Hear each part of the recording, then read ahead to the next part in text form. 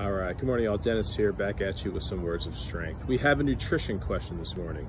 So the question is, what makes you so convinced that meat should be included in the human diet? Let me introduce you to the expensive tissue hypothesis. So this hypothesis states that certain tissues in the human body are extremely metabolically demanding, or in other words, they require a lot of caloric energy. For instance, the brain, which consumes about 20% of human energy, and the colon, which is also extremely metabolically expensive.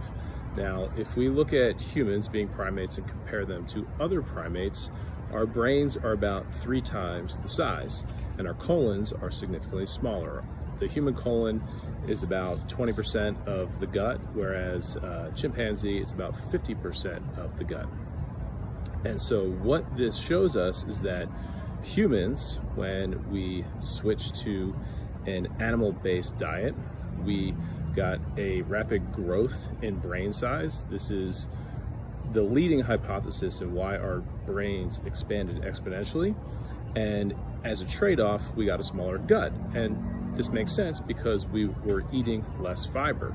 If you look at a gorilla, for instance, um, and we equated for weight we would have to eat about 20 pounds of vegetation a day to get the same amount of energy a gorilla gets from its diet. Um, they have the colon to support that, but they do not have the brains that we have. So the expensive tissue hypothesis shows that because humans adapted to an animal-based diet, we got bigger brains and smaller guts. And it is what it is. This is what you're adapted to, and this is what your body now needs to thrive.